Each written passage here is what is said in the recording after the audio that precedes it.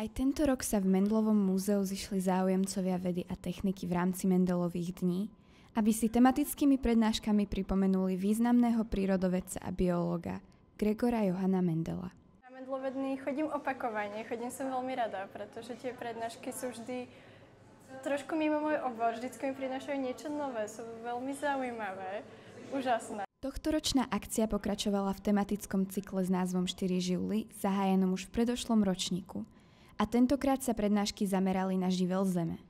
Venovali sa aj globálnym problémom, ako sú znečistenie životného prostredia či klimatické zmeny. Obdržel čilské státní vyznamenání za antarktický výskum a za spolupráci. Zem ako takú predstavili rôzne prírodné vedy. Skúmali ju z pohľadu geológie, fyziky, chémie či astronomie. A dneska jsem měl tu čest povídat něco o vztahu Gregora Mendla k astronomii.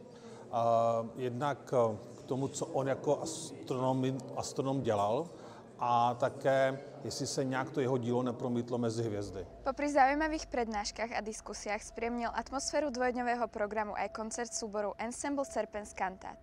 Pre Muni TV Jana Vachatová a Borbála Borbášová.